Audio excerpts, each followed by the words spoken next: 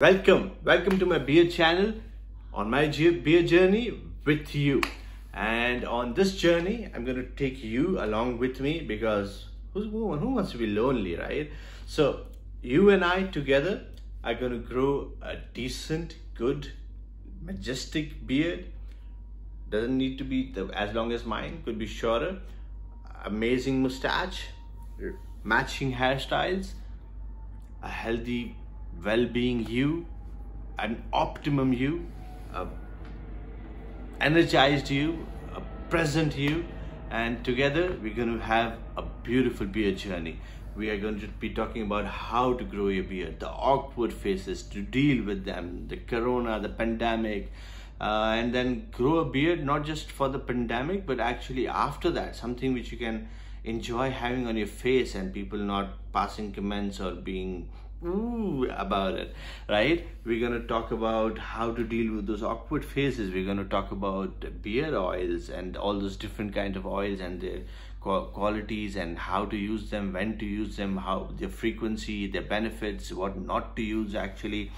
And you are going to still be shaving because you want those neat lines around your neckline and where the lines should be and how to shave a decent shave, not the foaming shave where you cannot see the line and you start cutting deeper each time and are left with a thin strap around your cheek. Uh, that's not the point, is it? Uh, then we're going to talk about hair growth products for not just for your head hair, for your mustache, for your beard. We're going to be talk about uh, rollers, derma rollers. Uh, so to help help grow and how to use them and you know what combinations to use we're going to talk about pomades and we're going to be talking about shampoos of different sorts uh, good ones and bad ones. Head head and this doesn't match. Remember that.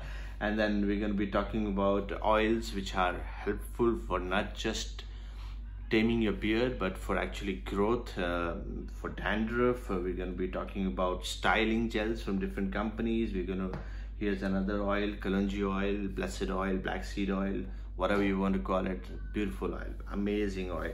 Uh, different brands which produce different kinds of oils with different combinations. Uh, we're going to be talking about butters of different kinds. We're going to be talking I, know I'm, I'm, trying to reach out here. Uh, we're going to be talking about keratin and how to use them and when to use them. We're going to be talking about beard butters balms utility balms whatever you want to call it. Each company brands its products differently. Is more of the same thing. Uh, different branding styles. We're going to be talking about products which are best for you.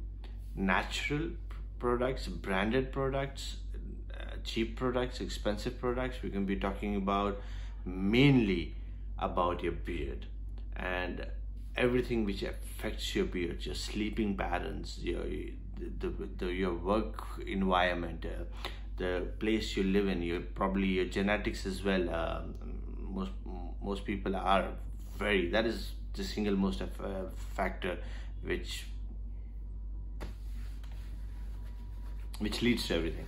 Uh, so don't want to get long-winded like I normally do. I'm gonna cut it short and welcome to my beard journey